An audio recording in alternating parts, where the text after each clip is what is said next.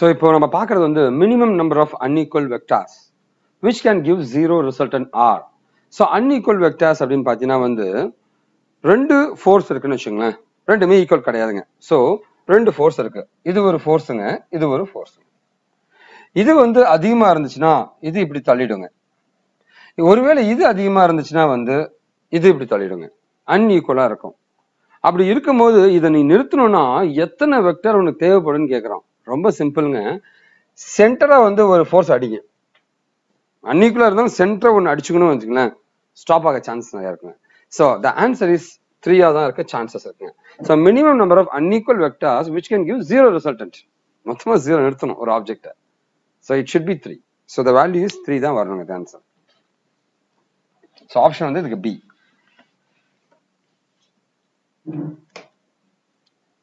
okay pascal second pascal second has the dimension of இது பார்க்கறதுக்கு முன்னாடி நம்ம விஸ்கசிட்டினா என்னன்னு பார்க்கலாங்க.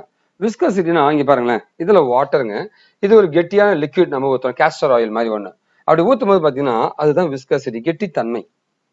சரிங்களா? அந்த flow of like rigid liquid அதை வந்து விஸ்காசிட்டின்னு சொல்லுவாங்க.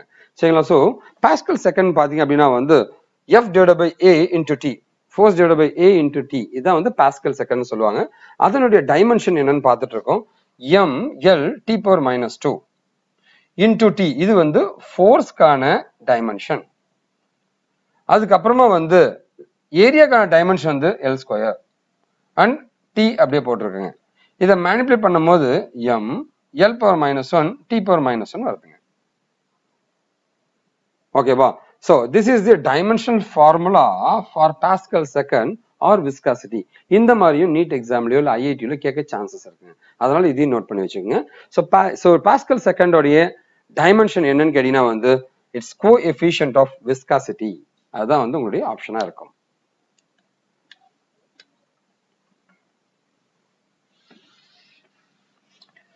அடுத்து நம்ம பார்க்கறது வந்து மேக்னெட்டிக் மூமெண்ட் மேக்னெட்டிக் மூமெண்ட் அப்படின்னு பார்த்தீங்கன்னா வந்து சி ஆக்சுவலா I got two magnets north pole and south pole இருக்குன்னு வச்சுக்கோங்க.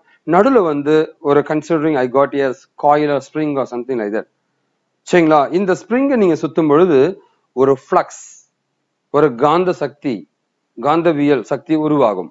சரி அதுதான் ஃப்ளக்ஸ்ன்னு சொல்றாங்க. இது மேக்னெட் மூலமா உருவாகிறதோட இது மேக்னெட்டிக் ஃப்ளக்ஸ்ன்னு சொல்றாங்க. அதன் மூலமா நகரக்கூடிய தன்மை இருந்துச்சுன்னா அதுதான் உங்களுடைய மேக்னெட்டிக் மூமெண்ட் பாருங்க மேக்னெட்டிக் மூமெண்ட் இதாங்க. ஸோ இட்ஸ் மூவிங் ஆன் சரிங்களா? ஸோ கொஸ்டின் என்னன்னு கேட்டீங்கன்னா வந்து மேக்னெட்டிக் மொமெண்ட்டுக்கு வந்து அதோட டைமென்ஷன் என்ன? So magnetic moment of current carrying coil அப்படின்னு பார்த்தீங்கன்னா வந்து ஹவிங் ஏரியா ஏன்னு பார்த்தீங்கன்னா so M is equal to I into ஏன்னு சொல்லுவாங்க. So A into L square so option பார்த்தீங்கன்னா வந்து ஆப்ஷன் பியா தான் இருக்க சான்சஸ் இருக்கு. எல் ஸ்கொயர் இன்டு ஏ அப்படின்றது தான் உங்களோட ஆப்ஷனாக இருக்குங்க. அடுத்து நம்ம பார்க்குறது வந்து பெர்மிபிலிட்டி ஸோ இது ரொம்ப ரொம்ப இம்பார்ட்டன்ட்டுங்க பெர்மிபிலிட்டினா வந்து யூஸ்வலாக வந்து நமக்கு தெரியும் formula B magnetic induction is equal to mu naught divide by four pi into two I divide by R இதுதான் வந்து பெர்மிபிலிட்டிகளுக்கு மேக்னெட்டிக் இண்டக்ஷனுக்கான ஃபார்முலா சரிங்களா? நியூ நாட்னா என்னது? பெர்மிபிலிட்டி சரி பெர்மிபிலிட்டின்னு சொல்லுவாங்க. ஓகேவா ஸோ நான் என்ன பண்ணியிருக்கேன்னா நியூ நாட்டை வந்து இந்த பக்கம் வச்சுக்கிட்டு சரிங்களா? B into four pi into R divide by two I so பாருங்க அந்த ஃபார்முலா தான் இங்கே போட்டிருக்கோம். ஸோ இந்த கா ஸ்டாண்டர்டான வேல்யூஸ் நாலு ரெண்டு பை இதெல்லாம் வந்து எனக்கு தேவையில்லை. அதெல்லாத்தையும் அவாய்ட் பண்ணிட்டேன். அவாய்ட் பண்ண பின்னாடி ஸோ ஆர்பிஐ ஸோ மூணு எலிமெண்ட் இருக்கு. ஆர்பிஐ அதுக்கான டைமென்ஷன்ஸை நான் போட்டு வரேங்க.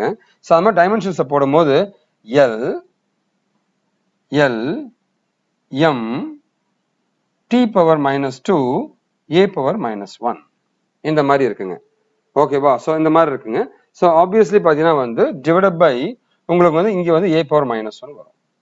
ஸோ ஆப்ஷன் பார்த்தீங்க அப்படின்னா வந்து உங்களோட ஆப்ஷன் வந்து L M T power minus two A power minus two so L M T power minus two A so option is B இதுதான் உங்களுடைய ஆப்ஷனாக இருக்க சான்சஸ் இருக்குங்க ஓகேவா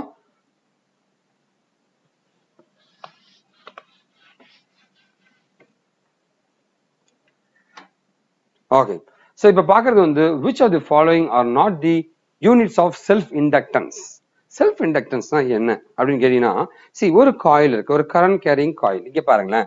ஒரு கரண்ட் கேரிங் காயில் இங்க இருக்கு. ஓகேவா அதுக்கு வந்து ஒரு கரண்ட்டை நீங்க பாஸ் பண்ணீங்க அப்படின்னா வந்து ஒரு இண்டக்ஷன் உருவாகும். ஒரு எலக்ட்ரிக்கல் ஃப்ளக்ஸ் உருவாகும். அதுதான் வந்து செல்ஃப் இண்டக்டன்ஸ்னு சொல்றாங்க. இதுவே வந்து ரெண்டு காயில் இருக்குங்க. இங்க ஒரு காயில் இருக்கு பக்கத்துல ஒரு காயில் இருக்குங்க. இந்த காயிலுக்கு கரண்ட் வந்துட்டு இருக்கு இந்த காயிலுக்கு கரண்ட் வந்துட்டு இருக்குன்னு வச்சுக்கோங்களேன். இதுக்கு ஒரு ஃப்ளக்ஸ் உருவாகும் இதுக்கு ஒரு ஃப்ளக்ஸ் உருவாகும். இந்த ரெண்டு ஃப்ளக்ஸுக்கும் நடுவுல ஒரு மியூச்சுவல் இண்டக்ஷன் உருவாகும்.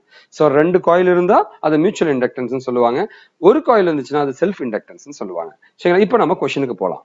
Which of the following are not the units of self inductance அப்படின்னு சொல்றாங்க. சரிங்களா? ஸோ நீட் ஐஐடி இந்த மாதிரி எதனா ஒரு எக்ஸாமில் நாலு ஆப்ஷன் கொடுத்து ஒரு ஆப்ஷனை செலக்ட் பண்ணுன்னு சொன்னாங்கன்னா ஆன்சர்ல இருந்தே சில நேரத்தில் நீங்கள் ஆன்சர் லைக் கண்டுபிடிக்க முடியுங்க. சரிங்களா? இந்த கொஸ்டினை பாருங்களேன். Are not the units of self இண்டக்டன்ஸ்ன்றான் சரி அப்படின்னா இதுல வந்து நாட் தி யூனிட்னா கண்டிப்பா வந்து மூணு வந்து யூனிட்டா இருக்கணும் ஒன்னு வந்து நாட்டா இருக்கணும். சரிங்களா? சோ அந்த ஒன்னு இருந்தா நம்ம கண்டுபிடிக்கணுங்க. ஓகேவா சரி பாருங்களேன். Weber per ampere joule ampere joule ampere power minus two அப்படின்னா ஜூல் பர் ஆம்பியர் ஸ்கொயர் இந்த மாதிரி கொடுத்துருக்கான். சரிங்களா? சோ கண்டிப்பாக இதுல தான் ஏதோ ஒரு காம்பினேஷன் இருக்கு. அப்படின்னா இது இதுல தான் வந்து ஏதோ ஒரு காம்பினேஷன் இருக்கு அப்படின்னா இது கிடையாது. சோ நாலுல ஒன்னு ரிஜெக்ட் பண்ணிட்டேன். அடுத்தது பாத்தீங்க அப்படின்னா வந்து வெபர் பர் ஆம்பியரா இருக்கு. இங்க வந்து ஜூல் பர் ஆம்பியர் ஸ்கொயரா இருக்கு டிவைட் பை ஆம்பியர் இங்கேயும் டிவைட் பை ஆம்பியர் இங்கேயும் டிவைட் பை ஆம்பியர்னு சொல்றோம். சரிங்களா? இது ரெண்டும் ரிலேட் ஆன மாதிரி இருக்குங்க. அப்படின்னா கண்டிப்பாக இதுதான் வந்து உங்களுடைய ஆன்சரா இருக்க சான்சஸ் இருக்கு. Not the unit of self இண்டக்டன்ஸுங்க ஓகேவா இது வந்து கெஸ்ஸிங் ஆக்சுவலா எக்ஸ்பிளனேஷன் நம்ம போலாங்க. ஓகேவா எக்ஸ்பிளனேஷன் பாத்தீங்கன்னா வந்து L equal to phi divide by I அப்படின்றத வந்து உங்களோட மேக்னெட்டிக் ஃபீல்டுக்கான சின்ன ஃபார்முலா அதை நீங்க போடும்போது இது வந்து weber per ampere so weber per ampere இது வந்து யூனிட்டு திஸ் இஸ் அ யூனிட்டுங்க யூனிட் ஆஃப் செல்ஃப் இண்டக்டன்ஸ் நம்ம கண்டுபிடிச்சிட்டோம். சரிங்களா? அடுத்தது பார்த்தீங்க அப்படின்னா வந்து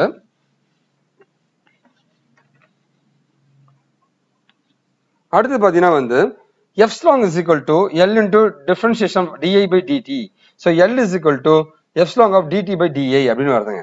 சரிங்களா? இந்த மாதிரி நீங்கள் போடும்போது ஸோ மேலே பார்த்தீங்கன்னா வந்து உங்களுக்கு seconds F slang of DT by டிஐங்க சரிங்களா? ஸோ இதுலயே நீங்க கெஸ் பண்ணிடலாங்க. ஐ இங்க இருக்குங்க. அப்புறம் டிவைட் பை ஆம்பியரா தான் இருக்கணும். டிவைட் பை ஆம்பியரா தான் இருக்கணும். ஓகேவா இங்க டிடி வந்துருச்சுங்க. அப்படின்னா மேல வந்து செகண்ட்ஸ் இருக்கணும். சரிங்களா? ஸோ மேல செகண்ட்ஸ் இருக்கணும். ஸோ யூனிட் பாத்தீங்கன்னா வந்து இதுவா இருக்கணும் இதுவா இருக்கணும் இதுவா இருக்கணுங்க. கண்டிப்பா இது இருக்க சான்ஸ் இல்ல. So this is how you are able to ஐடென்டிஃபைங்க ஓகேவா இந்த கொஸ்டினுக்கான answer C is the option